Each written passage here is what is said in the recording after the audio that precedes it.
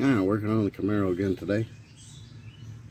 What I'm gonna do is I'm gonna cut all this rubber stuff out. I mean, it's everywhere. But it's kind of molded around all the wiring, so I'm taking these tinner snips and I'm cutting it so the wire can still stay in place. I'll just cut it all out. You know, I have to be careful down here because there's wires and stuff and then there's these tabs. Holding it down. Or pop this one out. And we're right there. But yeah I'm gonna cut all this out. Now I'm gonna fix the wiring and then I'm gonna put the delete plate in and then I'm gonna put the uh, the dash back in all right. Took all the rubber insulation out and that was a job. I wound up switching to a um, utility knife. That seemed to work better. I don't know what I did with it. Oh here it is. I switched to that. I was using this dollar store but it broke at the top. That worked good for a while until it broke. And when it broke I had to go to the store and get some blades. It's Memorial Day. I'm surprised Ace was open but they were so which is great because I needed some bolts for that. So I'm gonna go ahead and put that in next. I put the bead on the body side. A lot of people put it on the plate side but I put it on the body side. I'm to carefully put that up there, line up a bolt, tighten it up. All right, I put those two bolts at the bottom. Nothing's touching yet. I'm to stick this third long one. These are long bolts that go across the bottom. Those three big ones that come from the inside. But yeah, now I'm to stick this one in that hole and it should bring it up. It should line everything up for me. All right, the big bolts are in and uh, some of the blue stuff did uh, squeeze out on me, but that's fine. You ain't gonna be able to see it on this side, but on the outside, we'll uh, squeeze that on the outside too. We'll just hit it with a coat of paint, be fine. I mean, there's way more room in the engine bay now. But now I got to put the bolts from the outside through. Might have to get some help with that. Someone's to have to hold one side while I tighten the other. And this is everything that goes, that does not go back in the car. And this thing right here, it's pretty heavy. This airbag is pretty heavy. And all that stuff there is pretty heavy. I'm told all that rubber is 50 pounds, and I believe it. Um, I'm told that's 20 pounds. And uh, I don't know how much that weighs. I'd say it's about 15 pounds. 85. Eh, probably about 85 pounds. 80, 85 pounds. That right there, it don't weigh nothing. You can pick that up with a, a blade of grass. Yeah, maybe. It might be one pound. But um, check out how much room's in the engine bay. Tons more room in the engine bay tons. That's gonna make a big difference. Yeah. Race car. Alright, I got my girlfriend and son-in-law to help me and we got the, the bolts in. And I took five bolts out and I had to put six bolts in. Not sure what that's about.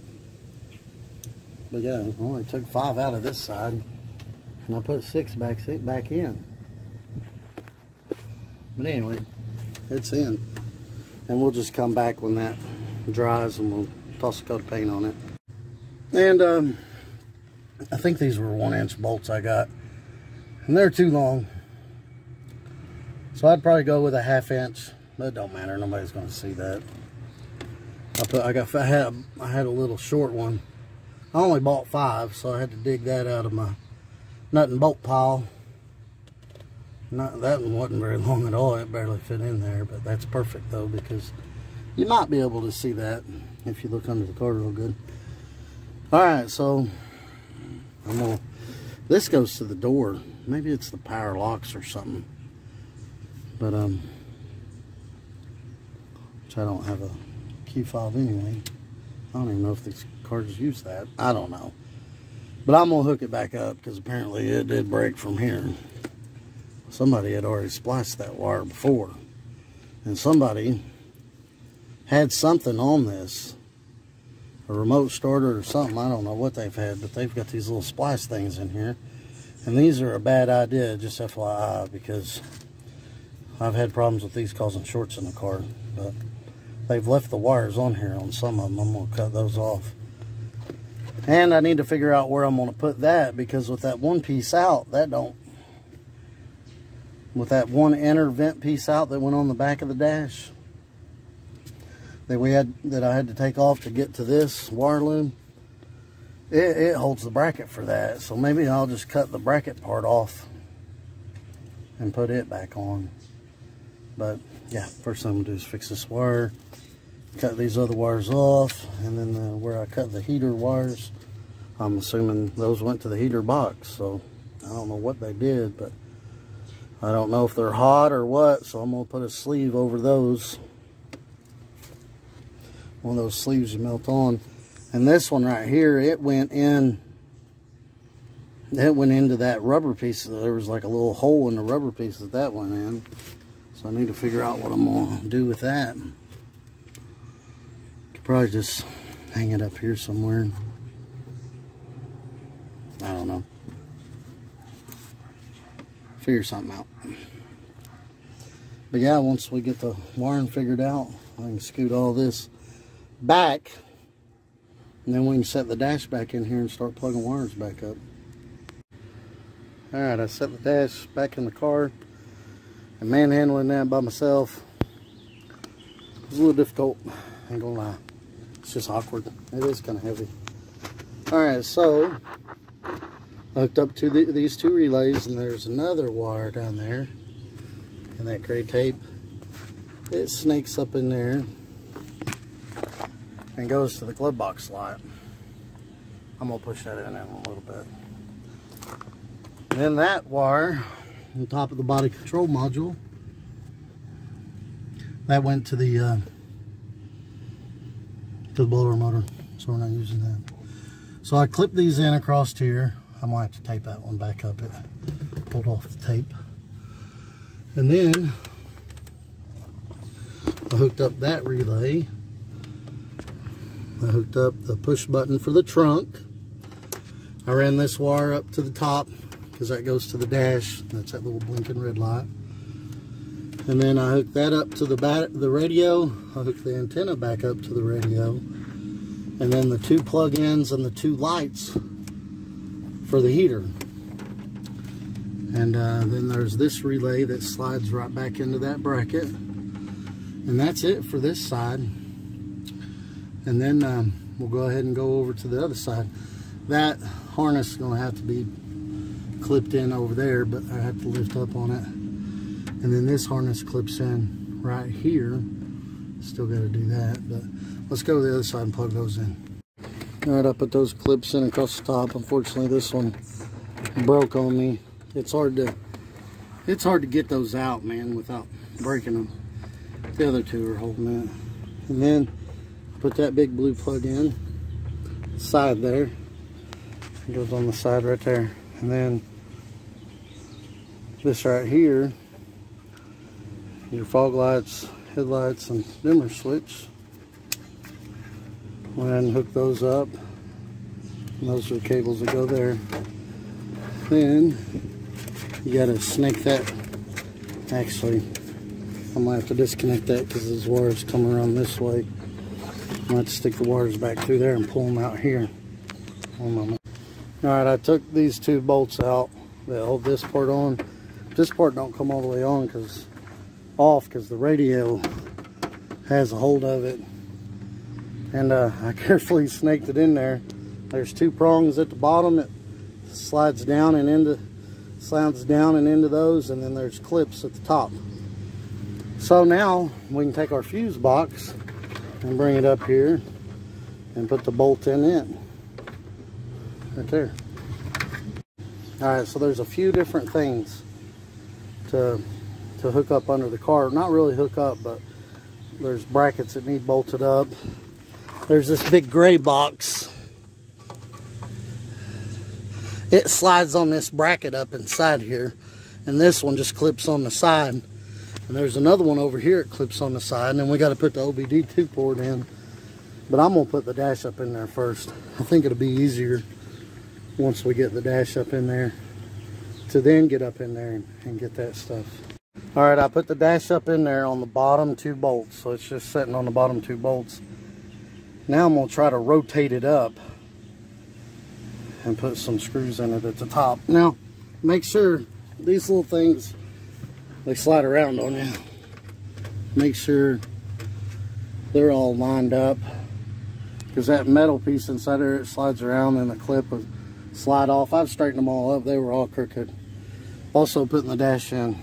Put, put the gear shifter way back here. Makes a lot easier. Alright, let's try to put this thing in. Alright, that one relay slid on over there. I can't get the camera in there. There's a bracket inside of two brackets, like back in the groove of them. And that uh, relay slides on. And then there's a canister. See it, the red plug? It just clips on with that clip. And there's another one over here that does that. And then we got to put our OBD port back in. And uh, this big harness, I put it up there and started the bolts, but I ain't tightened them up yet. And then I just put the steering wheel bolts back in. Now remember, your two corner bolts, there's two big ground wires that go to those on each side. Now this side right here, I know works your headlights because it came on, it came loose on me one day and my headlights went out. Luckily, I seen it spark out of the corner of my eye. I knew what it was. And this one's got two grounds that go to it too, and tighten those up. But um, yeah. And this dash, I'm just going to try to piece it back together the best I can. And I'm going to buy one of them dashes that you glue on top of it. They're like a hundred bucks on um, eBay. But um, as far as this uh, control module thing goes, I'm going to zip tie it up to the main harness the best I can. And I'm just going to let it chill out on the on the kick panel, the bottom kick panel. That's the only thing I can think of because I didn't want to put that whole big vent thing back in there. And uh, kick panel should hold that, that just fine. It's not that heavy. We got this bracket right here. That's got to go back in here. Really, I don't even think you need to put that back in. Well, if you used a center con console bolt up there, you do got to put it back in because that uh, that's where the front of your console screws at too. But I lost, well, I didn't lose that bolt. Whoever been messing with this car before lost that bolt, and I never did put it back in. But uh, but yeah, making progress. Just gotta put these two bolts on, tighten them up, tighten that big plug-in harness there. Tighten that other bolt up. And then uh, we can put the kick panels back in. The bottom kick panels back in, the side kick panels back in. And then we can put the top back in and then put our pillar pods back on. That's pretty much it. So I'm going to put the upper dash back in, all cracked to pieces. We're going to cover that up with one of those $100 eBay covers. I'm going to put the pillar pod back in the passenger side, but I'm going to leave the kick panels and stuff out. I'm going to leave all the rest of it out right now because I need to reroute my wideband back up to the front of the car. It was going underneath um, one of the seats and then down to the to the header extender. And then um, I do need to wire in a um, trans brake wire, and, and, a few other things I need to mess with in there. Plus, I need to be able to move the steering. Um, if you unbolt the steering and move it up and down, it makes it so much easier to get that piece to go on the knuckle that goes to the to the steering rack, um, and also, you know, the trans brake wire and etc. and stuff like that. So, um, besides the dash and the passenger side pillar going to leave that like it is for now. Y'all like and subscribe and have a great day.